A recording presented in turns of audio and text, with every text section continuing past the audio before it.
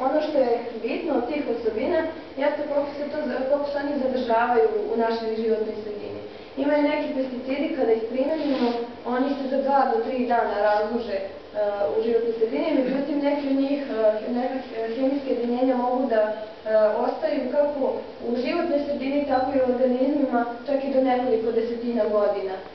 Ima primer sa insekticidom, insekticidom DDT ili DDT, kako ga već zovu, koristio se širom sveta ovaj, za suzbijanje komaraca i drugih insekata.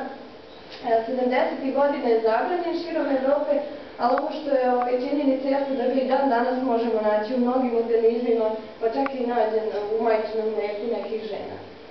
Druga jako bitna osobina jeste što mogu da pređu velika rastojanja. Mi ih prskamo na jedno mesto, a nalazimo na nekom sasvim drugom.